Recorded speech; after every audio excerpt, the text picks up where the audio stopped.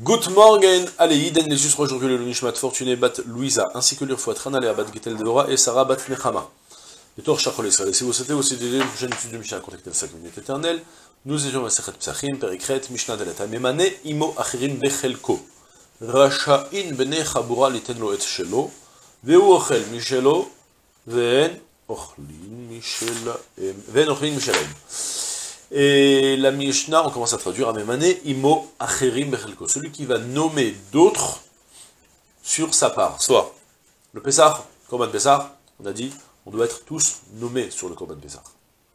Euh, on va faire la Shrita, donc euh, pour nous, toute notre famille, ou bien avec euh, notre cher voisin, on voulait tous manger tous ensemble.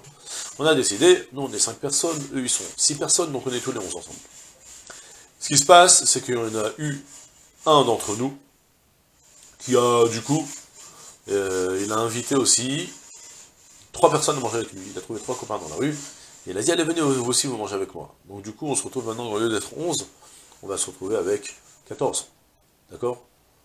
Alors la méchante enseigne, Amemane celui qui va nommer d'autres personnes avec lui sur son, sa part, qu'est-ce qu'il a dit? Il a dit, bah, écoute, pourquoi lui, il s'est permis de nommer les trois personnes? Il dit, de toute façon, je devais recevoir un, un onzième du Korban Pessah. Un onzième du Korban Pessah, ça fait l'équivalent d'à peu près euh, 900 grammes de viande. Je prends trois copains, et puis on va se partager, on va prendre 900 grammes de viande, plus ou moins, on va se le partager entre 300, 300, on va rien diminuer de ce que les autres devaient manger. Ouais, quoi être plus pur? C'est gentil, non? Eh bien, la Mishnah me dit malgré tout, litenlo et les autres bnei les autres membres du groupe, ils ont le droit de lui donner sa part, et on va lui dire, écoute, tu dois prendre 900 grammes, fais-nous plaisir, tiens, on, va te couper de la viande 900 grammes, sans coupe cassée d'os, bien sûr, et après, vous allez manger dans la cuisine, vous allez manger dans la chambre là-bas. Je veux pas vous voir. Nous, je veux qu'on est à table, toute la famille, toute la famille qu'on a, les familles qu'on a prévu d'être là ensemble, en bonne ambiance, ouais, ne n'invite pas d'autres invités en plus. Veochel, Michelo, et dans ce cas-là, quand il va être là-bas, il va manger sa part avec ses trois copains. Et et eux, ils vont rester là pour manger le, leur part tous ensemble. La Mishnah, en fait, maintenant, vous avez compris le principe, d'accord? Donc, il y en a un qui a voulu nommer d'autres personnes à venir sur sa part, et on parle qu'il ne va pas faire diminuer la quantité, c'est important. Parce que, après je vais expliquer pourquoi.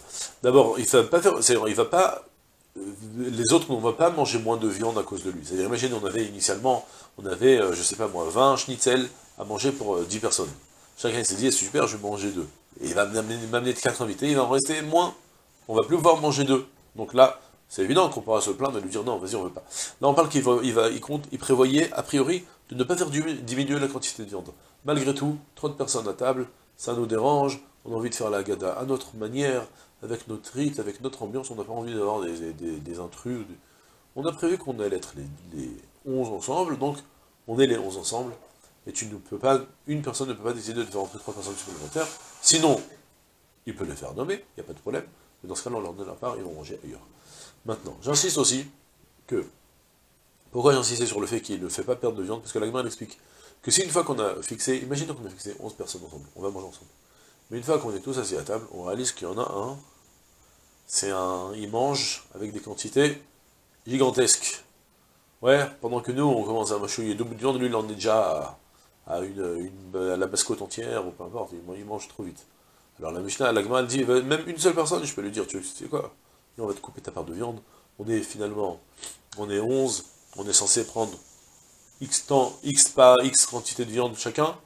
Prends ce qui te revient et débrouille-toi avec, mange-le à la vitesse que tu veux, mais ne va pas, à cause de toi, on va, on va, on va avoir faim à la fin du CDR, c'est pas possible.